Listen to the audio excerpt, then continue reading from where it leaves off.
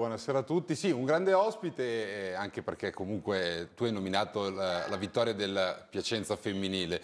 Eh, purtroppo il nostro grande ospite non ha molto da festeggiare, visto che parliamo della Copra Elior. È con noi Maurizio Latelli, appunto, della squadra piacentina. Ciao Maurizio. Ciao, buonasera a tutti. Buonasera.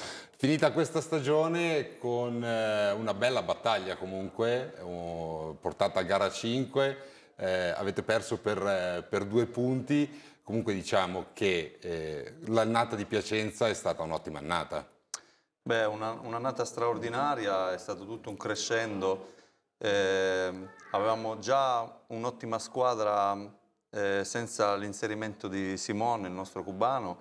Eh, da quando è entrato lui è stata eh, veramente eh, un crescendo. La squadra è migliorata tantissimo, abbiamo disputato eh, la Challenge Cup è stata l'unica squadra, la nostra, a vincere una, una Coppa Europea quest'anno, quindi diciamo che cerchiamo di trovare delle, delle cose confortanti per questa sconfitta della, della, finale scudetto, ma dobbiamo essere contenti.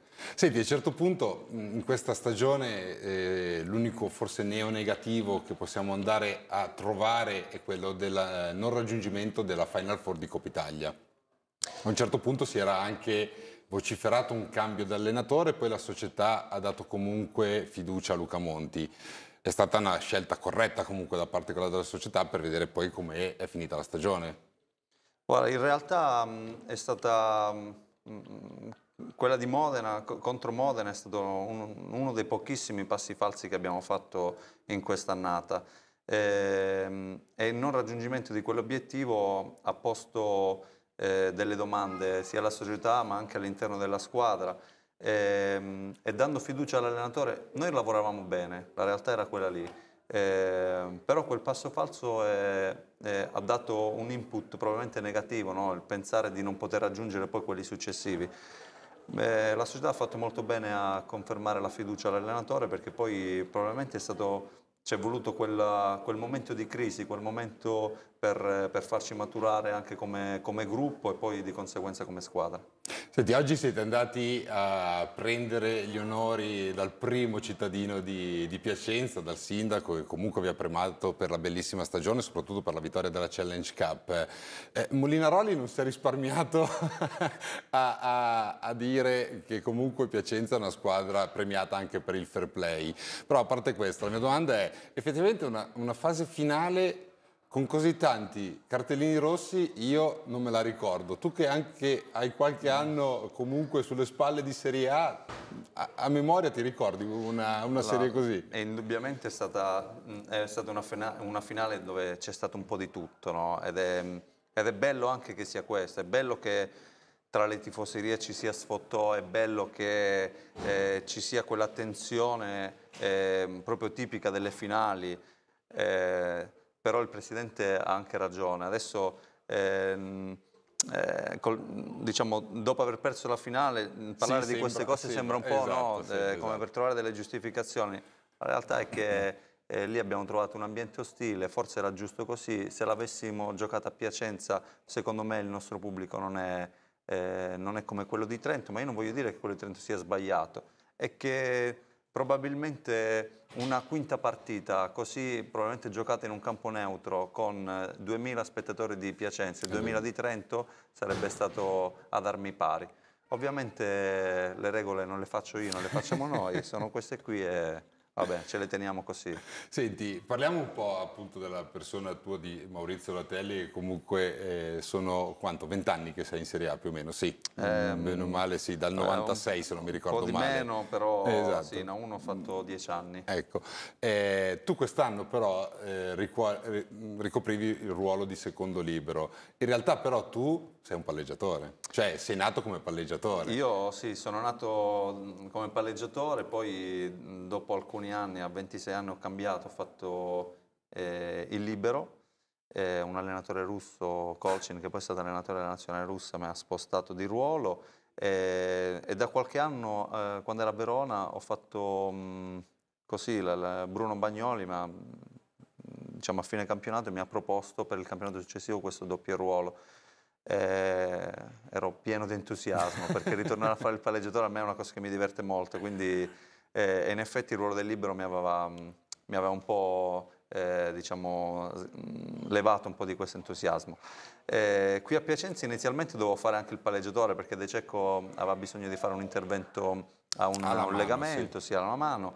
Eh, Infatti quello era il dubbio dell'inizio stagione di Piacenza senza De Cecco. Sì, sì, sì, invece poi lui ha tenuto botta e quindi mi sono ritrovato a fare il secondo libro, però sono stato veramente molto contento di far parte di questa, di questa squadra perché eh, quando mi giravo intorno al campo e vedevo Fei, Papi, Zlatanov, Simon, Tencati, Dece, cioè tutti i grandi campioni, quindi essere in mezzo a loro era veramente eh, per me è una cosa grandissima. Diciamo che un po' di scudetti ce li avevate in campo, anche se poi non l'avete vinto, però tra tutti quelli che giocavano, insomma, qualcuno c'era. Beh, ti assicuro che non si è mai sazi, quindi ah, no, io, beh, di sicuro. Eh, c'è gente scudettatissima, gente che ha fatto 11 finali come Samuele Papi, è veramente un, un fenomeno. Eh, sempre affamati, sempre affamati di finali, sempre affamati di vittoria, quindi è quello che li ha fatti diventare così grandi.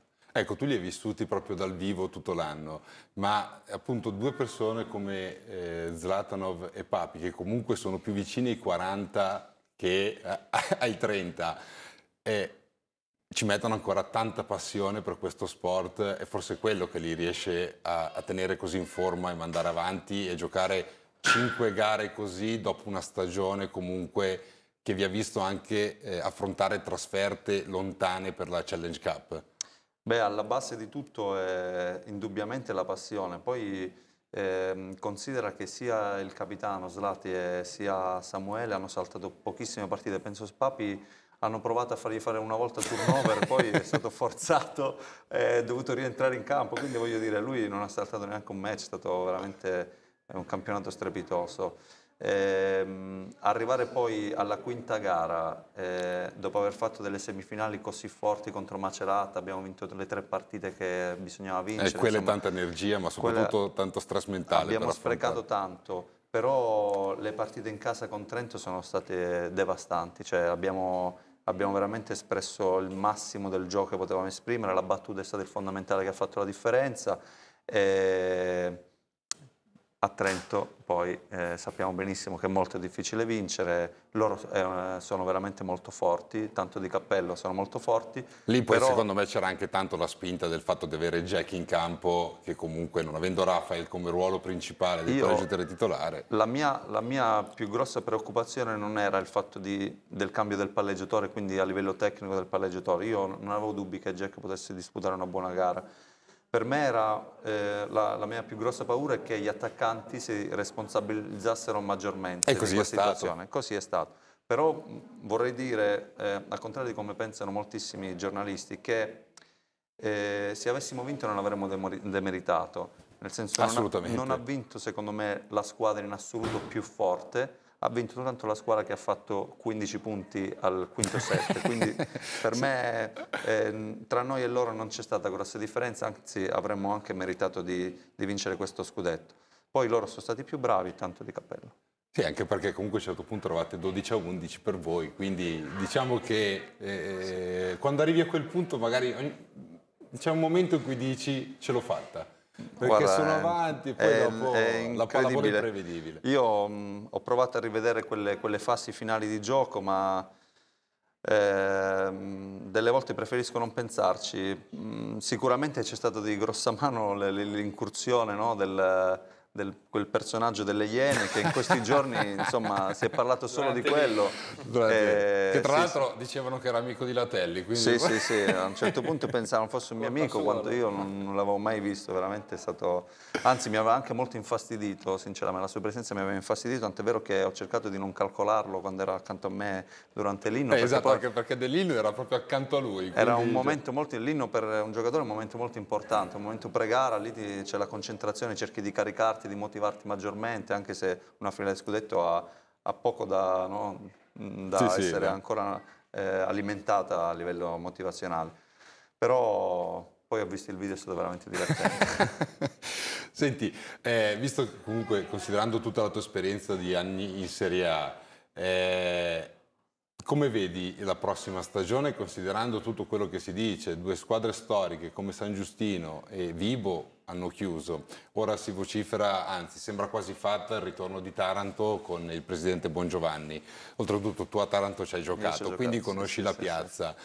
Però diciamo che eh, è sempre più difficile, è chiaro che poi secondo me si arriverà sempre a, a trovare una soluzione, però insomma eh, anche il blocco delle retrocessioni non sembra aver dato tutta questa sicurezza ai club.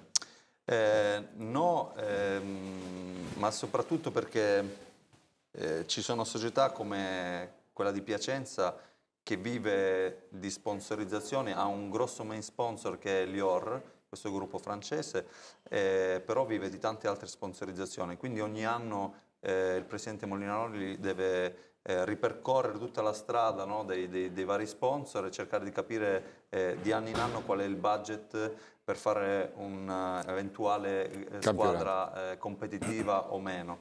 Io auguro a Piacenza di farla eh, il, il, massimo possibile competitiva perché ha dimostrato di essere una piazza veramente che merita eh, il palcoscenico sia nazionale che eh, quello della Scudetto che l'internazionale perché l'anno prossimo c'è la Champions League, eh, poi ci sarà questa no, diatriba del, della Supercoppa, Vabbè, quello penso sia stato un errore di valutazione della Sì, il regolamento è così dal 95, partecipa la, seco la, seconda classificata alla Coppa Italia. Sì, sì, però a quanto ho capito Piacenza si presenta, quindi probabilmente sarà un triangolare, adesso esatto. vedremo insomma. Senti, velocemente, ultima battuta, il futuro di Latelli, libero o, o palleggiatore?